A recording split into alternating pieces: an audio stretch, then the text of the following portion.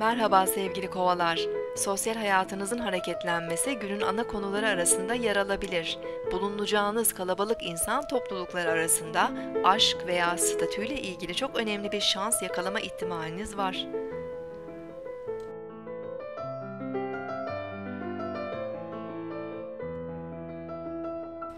Bugün 19 Nisan 2014 Cumartesi, Satürn günündeyiz. Yay burcunda ilerleyen ay güne hareketli, dışa dönük iyimser enerjiler veriyor. Bugün kısa ve uzun seyahatler, geziler, spor ve kültürel faaliyetlere zaman ayırabiliriz. Öğle saatlerinden itibaren ay Koç burcundaki Merkürle üçgen açı yaparak iletişimlerimizi hızlandırabilir.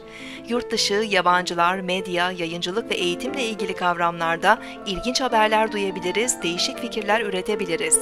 Genel olarak coşkulu ve hevesli olacağımız için sabırsız ve riskli hareketlerde yoğunlaşabilir.